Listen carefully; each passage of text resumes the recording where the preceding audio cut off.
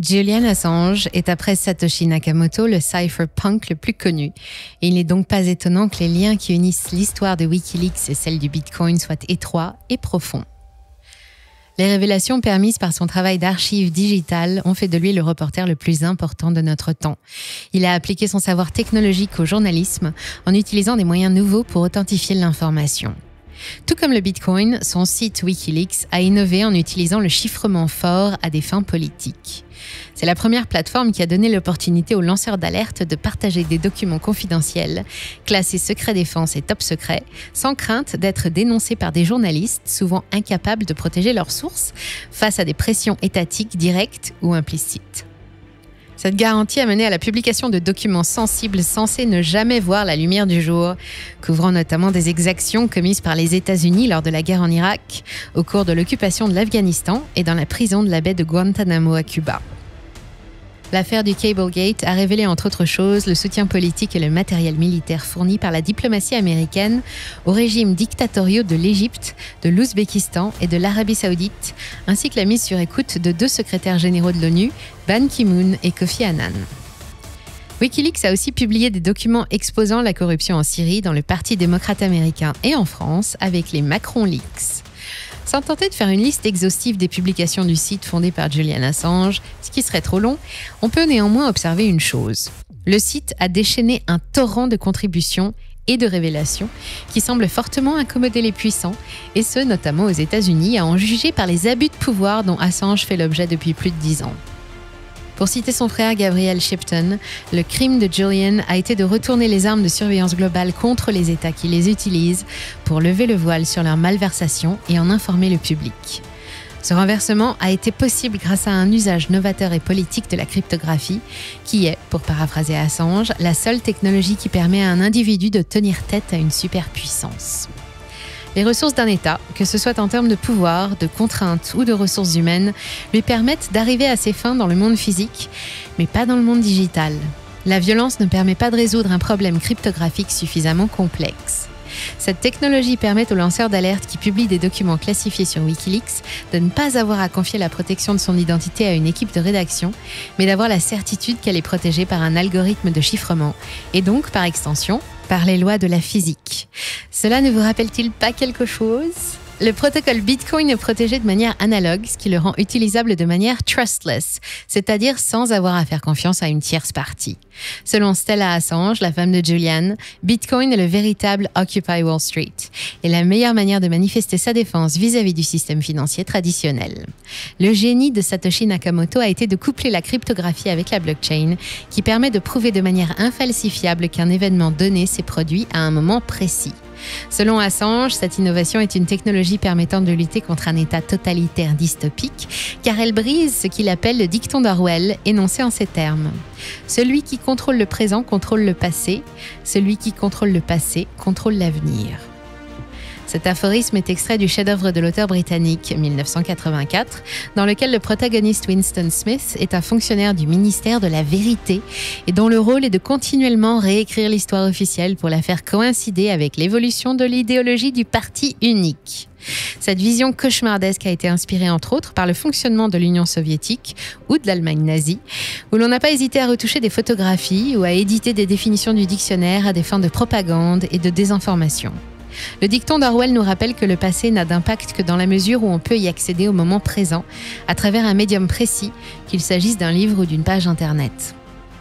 Le pouvoir de faire disparaître les faits qui nous déplaisent ou au contraire de mettre l'emphase sur ceux qui nous paraissent opportuns permet à un régime politique de justifier facilement ses décisions et de couper court à toute velléité de contradiction. Cette constatation est d'autant plus critique à l'heure d'Internet où une modification ne laisse pas de traces visibles, contrairement aux pages arrachées ou aux textes caviardés de l'Union soviétique. Comment être sûr donc qu'une page Internet qui prétend exister depuis 10 ans n'a pas été créée hier? Ce problème a été résolu par le système d'horodatage cryptographique de la blockchain Bitcoin qui permet d'authentifier une information et qui la rend incensurable. Il y a plus de dix ans, ce cas d'usage unique en son genre a mené Julian Assange à conclure que Bitcoin était bien plus qu'une monnaie. C'est un mécanisme qui permet de donner une dimension scientifique et objective à l'histoire, où l'intégrité du passé est cryptographiquement vérifiable. Il a prédit l'expansion que le Bitcoin allait connaître dans son livre Quand Google a rencontré Wikileaks, notamment, et en a été l'artisan en acceptant les donations à Bitcoin en juin 2011 sur la plateforme de lancement d'alerte. On peut dire, sans exagérer, que la technologie Bitcoin a sauvé Wikileaks. À partir de 2010, suite aux révélations publiées sur le site, le service a fait l'objet d'un embargo bancaire sans précédent. Sans aucune décision de justice, PayPal, Bank of America, Visa, Mastercard et autres ont conjointement cessé de fournir leurs services à Wikileaks, dans le cadre d'une tentative officieuse extrajudiciaire de faire mourir la plateforme en lui coupant accès à toute forme de financement. Ce blocage a pu être contourné grâce au réseau décentralisé du Bitcoin, sur lequel on ne peut pas faire pression, contrairement à une société privée. La correspondance entre Satoshi Nakamoto et Julian Assange au cours de l'année 2010 est très intéressante, car elle nous apprend que le fondateur pseudonyme de Bitcoin avait initialement des doutes quant à la capacité du très jeune réseau à résister aux attaques gouvernementales. Nakamoto a demandé au fondateur de Wikileaks d'attendre que les réseaux s'étendent et se renforcent avant d'accepter les donations sur Wikileaks dans un message publié sur Bitcoin Talk le 5 décembre 2010. Je demande à Wikileaks de ne pas essayer d'utiliser Bitcoin. Bitcoin est une petite communauté bêta encore très jeune. Vous ne pourrez pas espérer gagner plus que quelques centimes et à ce stade, l'attention qui résulterait de ce choix nous détruirait probablement. Assange a accepté sa demande et a patienté quelques mois avant de permettre les donations en Bitcoin sur son site. Il semble néanmoins que le moment venu, l'appréhension du fondateur de Bitcoin ne s'était toujours pas dissipée. La disparition de Satoshi Nakamoto, qui a coïncidé avec ces événements, a sans doute été causée, à tout le moins partiellement, par ce braquage soudain des projecteurs sur le protocole Bitcoin qui n'existait alors que depuis deux ans et demi. Dans son avant-dernier message publié, laconique et de mauvais augure, le créateur de Bitcoin avertit Wikileaks a secoué un nid de frelons et l'essaim vient dans notre direction. Cependant, plus de dix ans plus tard, et avec le recul, il semble que la décision de Julian Assange ait été un baptême du feu bénéfique pour Bitcoin. Elle l'a fait passer d'une technologie expérimentale à un outil politique digital unique en son genre, après qu'il a passé avec brio l'un des tests les plus critiques de son histoire. Le génie de Cypherpunks et de Satoshi en particulier a été de comprendre avant même le lancement de Bitcoin qu'une période de vulnérabilité initiale était inévitable si l'on voulait garantir un réseau décentralisé, sans distribution de coins préminés et où tous les utilisateurs pouvaient participer à égalité. Les premiers pas du Bitcoin ont été une course contre la montre, où le réseau a dû se développer et se décentraliser furtivement autant que possible avant d'être dans le viseur d'agences de renseignement susceptibles de l'attaquer et de lui nuire. Cet état de fait explique l'appréhension que Satoshi avait à l'époque à l'idée d'une telle publicité qui serait nécessairement un moment de vie ou de mort pour le protocole. Un test de ce genre était de toute façon voué à se manifester à un moment ou un autre. Dans les faits, le financement de Wikileaks a marqué les débuts de la maturité de Bitcoin. Il est difficile d'exagérer l'importance de cette réussite, car elle constitue un exploit qui ne sera vraisemblablement pas réitéré. La naissance et l'adoption d'une monnaie de commodité émise et contrôlée de manière décentralisée, un événement qui ne s'était pas produit depuis des centaines d'années.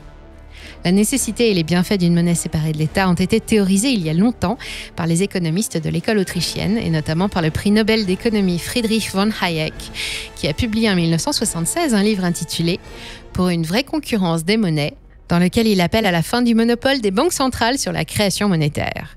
Ce livre a eu une forte influence et a mené au lancement de projets qui ont tous été mis en échec par des interventions étatiques. Pour prendre un cas concret illustratif, on peut citer l'exemple du American Liberty Dollar, une monnaie privée échangeable contre un équivalent en or ou en argent gardé en coffre, qui a eu cours aux États-Unis entre 1998 et 2009.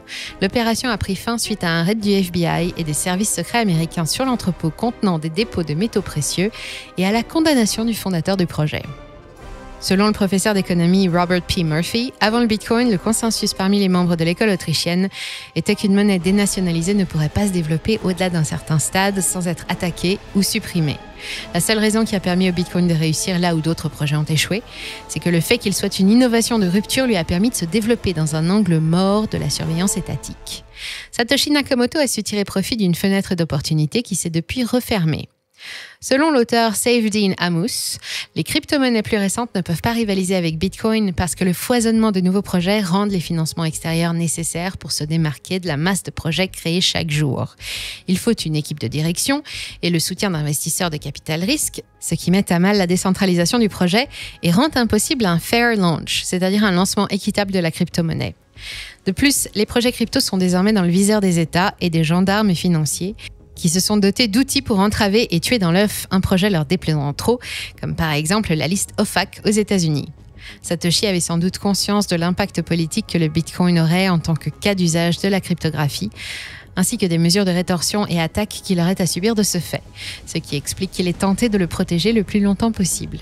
Ces implications politiques, théorisées par les cypherpunks depuis les années 90, ont été synthétisées avec brio par Julian Assange dans son livre publié en 2012 intitulé Cypherpunks, la liberté et le futur d'Internet. Il commence cet ouvrage de manière poignante avec ce qu'il présente comme un appel aux armes cryptographiques. Dans cet avertissement malheureusement visionnaire, Assange affirme qu'Internet est en passe de devenir un outil de surveillance totalitaire aux mains d'une dystopie transnationale. Les États ont silencieusement mis la main sur Internet grâce à leur capacité à contrôler par coercition l'infrastructure matérielle sur laquelle ils reposent. Pour Julian Assange, on oublie trop souvent que nos sociétés, sous un vernis pro-social et démocratique, sont en réalité régies par la menace et le cas échéant par la violence. Pour lui, notre seul espoir est la cryptographie et la propriété étrange de notre univers qui fait qu'il est beaucoup plus difficile de déchiffrer un message que de le chiffrer. Cet outil nous permet d'abstraire Internet de son substrat physique et logistique, car briser un chiffrement suffisamment fort requerrait des ressources infinies de calcul. En d'autres termes, l'asymétrie propre à la cryptographie permet de construire des systèmes qui ne cèdent pas à l'application d'une violence illimitée, ce qui permet à une personne de créer un objet que le plus puissant des États ne peut détruire. Cette nouveauté change l'équilibre des forces en présence en faveur des individus, jusqu'alors totalement démunis contre les États. Julian Assange, lorsqu'il a écrit ce texte à Londres en 2012, parlait en connaissance de cause, ayant déjà été témoin d'années d'attaques étatiques contre Wikileaks, ainsi que d'attentes à sa propre personne, suite notamment aux révélations concernant la guerre perpétuelle en Afghanistan et les liens entre le gouvernement américain et le lobby militaro-industriel. Il termine sa déclaration de guerre technologique par la promesse suivante. Notre tâche est de garantir notre autodétermination là où nous le pouvons, de contenir les avancées de la dystopie là où nous ne le pouvons pas, et en dernier recours d'accélérer son autodestruction. Lorsqu'il écrivait ces mots il y a plus de dix ans, avant les révélations d'Edward Snowden sur le programme de surveillance généralisée de la NSA, Assange était déjà sous le coup d'une demande d'extradition américaine. Lorsqu'on voit le déchaînement de violence et la violation des droits humains dont il a fait l'objet durant les dix dernières années, on se dit que Satoshi Nakamoto a eu raison de disparaître peu après l'annonce de l'association entre Wikileaks et Bitcoin. Son père, John Shipton, a décrit l'acharnement contre Julian comme étant un assassinat en slow motion. Après avoir été enfermé pendant près de 8 ans dans l'ambassade d'Équateur, où il a fait l'objet d'espionnage, de violation des droits de la défense, ainsi que de projets d'enlèvement et d'empoisonnement, il a finalement été vendu et livré aux autorités britanniques par l'entremise des États-Unis. Depuis le 11 avril 2019, il est détenu à l'isolement dans la prison de haute sécurité de Belmarsh, surnommée le Guantanamo anglais. On lui a refusé toute demande de liberté sous caution et il attend actuellement le jugement en appel de sa procédure d'extradition qu'il a gagné en première instance. Le département de la justice américaine pèse de tout son poids dans la balance, bien qu'il ne semble y avoir aucune raison justifiant la détention par les États-Unis de ce citoyen australien résidant actuellement en Angleterre. Si l'oncle Sam gagne ce procès, Assange sera déporté et jugé en Virginie pour 17 chefs d'accusation, lui faisant risquer une peine de 175 ans d'emprisonnement. Son procès se déroulerait sous l'égide de la loi fédérale contre l'espionnage de 1917, un régime d'exception extrêmement permissif qui minimise les droits de la défense dans les matières touchant à la sécurité nationale. Pour le dire crûment, extrader Julian Assange, c'est le condamner à croupir en prison jusqu'à la fin de ses jours.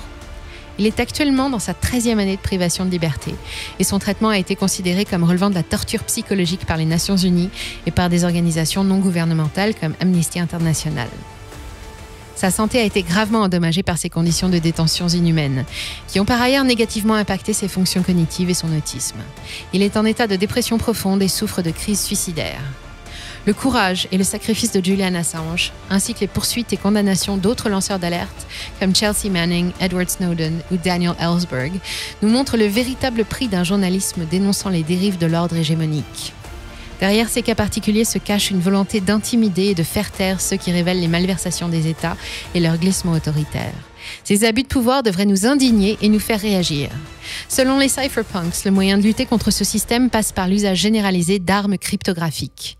Crucialement, pour l'auteur et vétéran Jason P. Lowery, ces technologies, telles que le Bitcoin, sont des armes de paix, à opposer aux armes de guerre du monde physique. Seuls ces outils, qui rendent l'usage de la violence futile, permettront de bâtir un monde décentralisé susceptible de résister aux graves tentations étatistes et autoritaires qui menacent aujourd'hui le monde entier. Nous espérons que vous avez apprécié cet épisode des analyses crypto de Money Radar, explorant l'histoire commune du fondateur de Wikileaks, Julian Assange, et de la technologie Bitcoin, et le combat politique qui les réunit. Si c'est le cas, n'hésitez pas à mettre un pouce bleu, ainsi qu'à commenter et à partager cette vidéo. À bientôt sur Money Radar.